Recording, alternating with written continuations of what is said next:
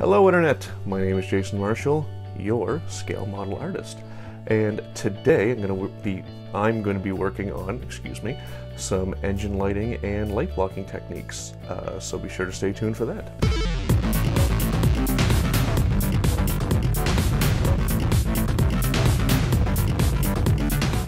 As you can see, we're really moving along on the Galactica now. I've installed, but not permanently, the flight pods. Now they've been closed up, wired them in, and I want to take a little bit of time to talk about uh, engine lighting and LED. And I'm going to focus on this guy first and uh, then show you some light blocking techniques. So what you're looking at is the uh, port upper engine pod. What you have here is a blue 3mm LED with a 470 ohm resistor connected to magna wire. This black stuff here is Tulip. It's a very, very th thick acrylic. I'm using it for a light blocking material because I didn't do any internal light blocking.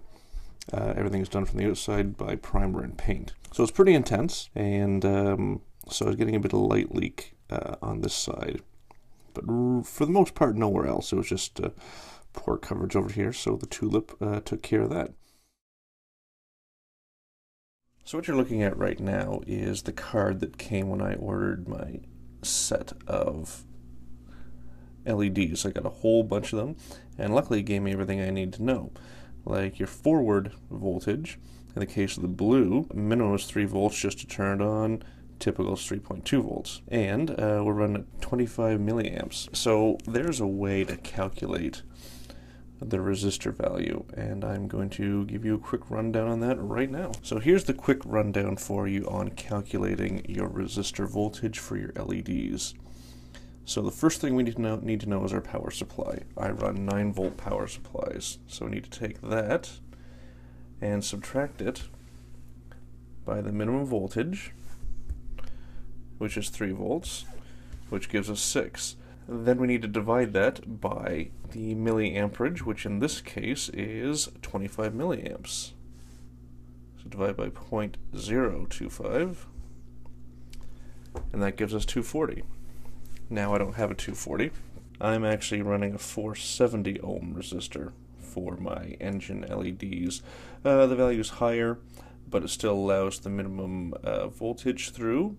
And there you go. That's working with LEDs. It's actually pretty simple. Might seem a bit uh, confusing or intimidating the first time uh, you ponder it, but uh, once you get going, it's super easy.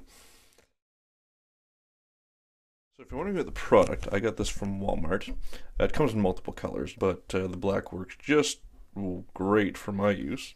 So there's a little bit applied. I'm going to throw some more in. It's got this nice little end here. I'm just going to kind of spread around with a brush. And there you go, some pretty quick light blocking. So as you can see, we've uh, made quite a bit of progress on the Galactica. We're actually just about ready to close up the two, uh, two body halves.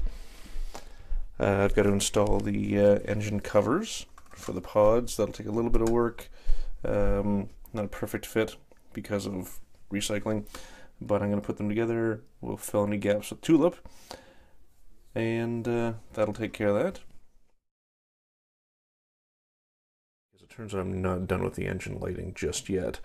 Uh, there's a couple things I want to show you. First is the engine nozzles. These are considerably less bright than this LED as is. So we're going to use a little bit of cotton to uh, step that down. The other thing I'm going to do is light the center engines. I took some cool white LED tape and applied some transparent paint to it to give it the blue glow. The nozzle, the lens, and some cotton. I'm going to take a little bit of white glue, apply it to the end of a brush, Good thing it's water soluble because I can clean that brush afterwards. And I'm actually going to apply the glue to the inside. There we go, we got that inside, and now we can install the lens. So just drop the lens in, you can push in so it's nice and tight against the outer wall. And there you have it. Here's the thing, you don't actually need a whole lot of cotton to, uh, to do this. I think we'll go like that. I don't want it we don't want to lose too much light. You can stuff it in there. and that is how I filter my light lighting. These exposed wires. I'm going to use liquid electrical tape, which I found at an automotive parts store, to uh, insulate those connections. All right, there's another episode uh, done of the Battlestar Galactica build. I hope you enjoyed what you saw.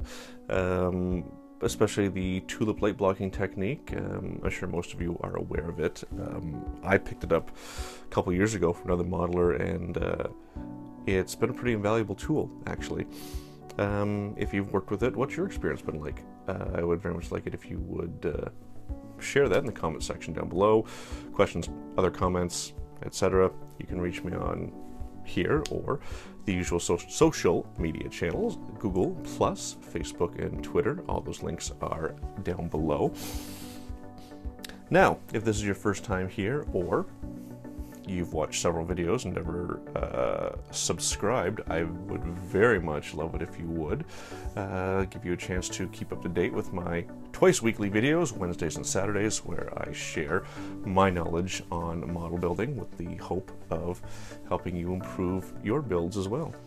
So, subscribe. Just do it. You know you want to. Um, I do appreciate you taking the time out of your day. I know that there's a lot of content on YouTube, um, even from this niche of model building. It can be overwhelming. So, um, you know, watching my stuff is, uh, I appreciate it. I really do. So, until next time, keep on building.